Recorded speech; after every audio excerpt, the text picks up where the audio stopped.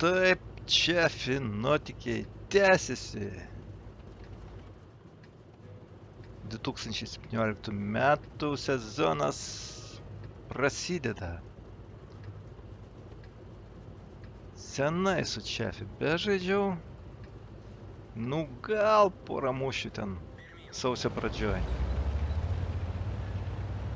Nu ir čia buvo šeštadienis, sekmadienis ar kas čia. 3x. Nu ir reikia, sakau, vieną mūšį sužaisti su čefi. Ką? Į krūmą.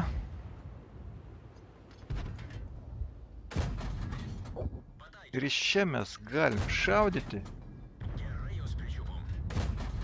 nemokamai. Šviesti tingiu, tratinu ir viskas.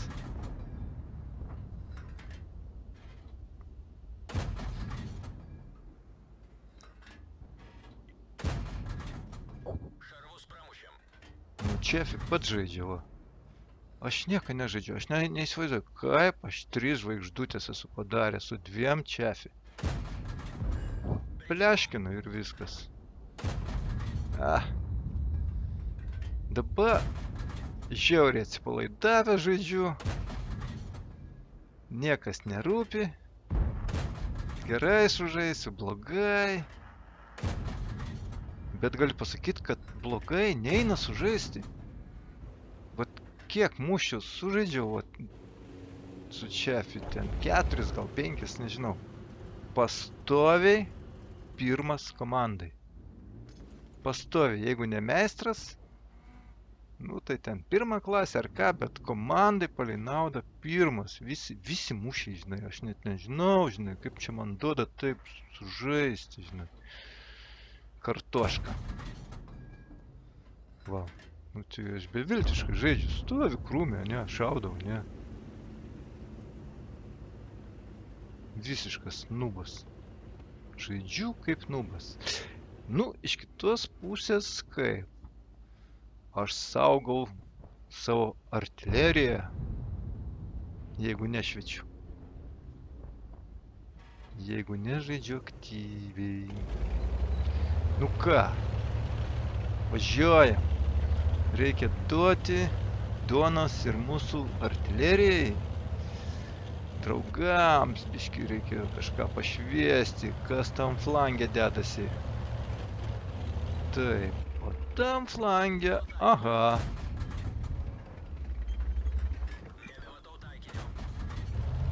Nu ką, nu nepramušu. Va tas vokietukas kietakaktis yra. Ir mes vėl bėgam. Mes parodėm ir bėgam atgal į krūmiuką. Pastovėsim, palauksim.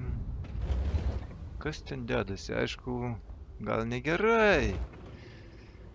Aš čia darau. Kas čia yra? O čia yra tokių daug, daug sužaidusių mūšių. Ten, nežinau, 40, 50, kiek ten tūkstančių, žinai, nu aš 20 su viršum esu sužaidęs.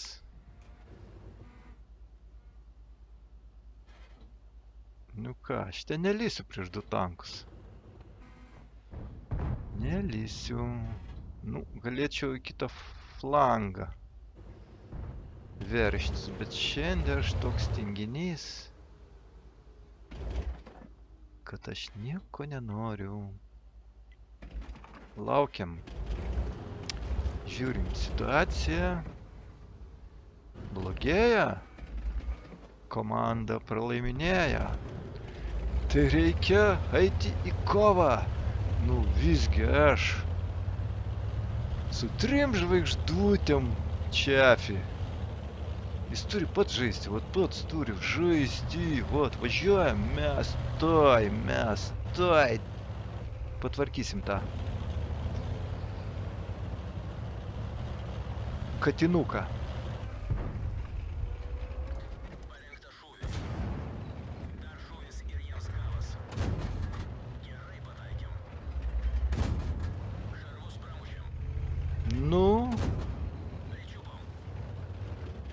Rimtai nekoks. O kažkada buvo imba tankiukas, tas katinukas, ket, ket. Gali ket. Velnio katinas ar kaip. O dabar patranka jo lietai sukasi, važiuoja lietai. Taip. Švedukas. Švedukas. Nemato manęs. Vat. Kas gerai yra, Čefi, kad jisai yra nematomas.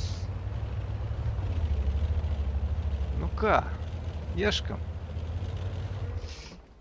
Taip, ten mes nematom, tarp namų pasislėpėm. Reikia mūsų artilerijai pašviesti, gal per šitą flangą prasiveršti, bandyti. Reikia žaisti. Aha. Gal dar vienas švedas.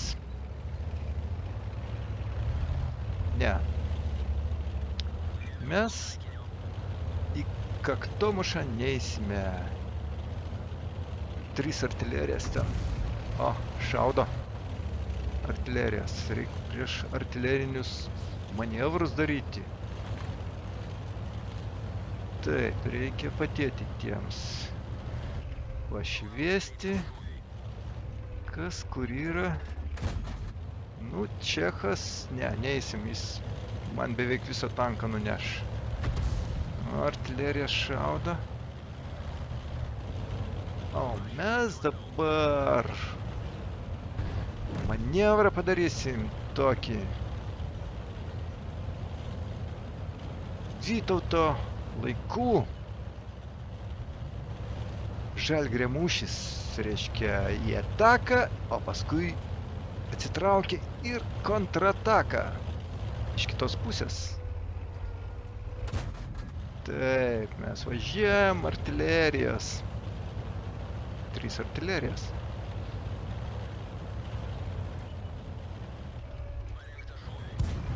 O.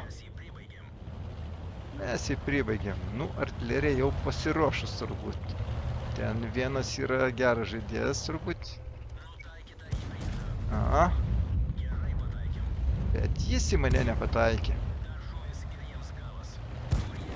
Taip, galas. O čia. Jis atbulai greitai važiuoja labai. Nu, kur ten atšoka?